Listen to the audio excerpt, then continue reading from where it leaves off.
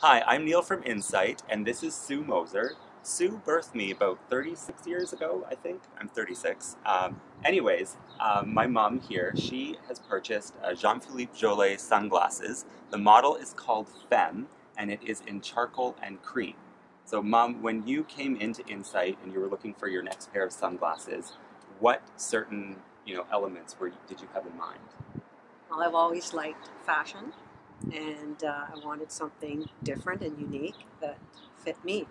Yeah, and this frame it fits my mom incredibly well. You can see how it's hugging her bridge, and it's very balanced. The weight is distributed evenly from uh, the temples behind her ear to the bridge of the nose.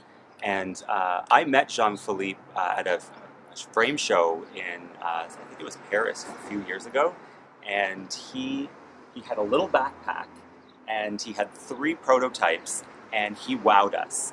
And this was one of the original frames in his collection, and it has become an iconic piece.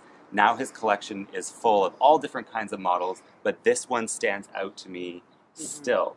It has uh, a polished edge to it, which you might be able to see how the light is catching that.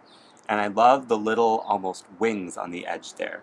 So Jean Philippe is just full of passion. He's an amazing designer, and he really knows how to uh, find shapes that work well for people's faces.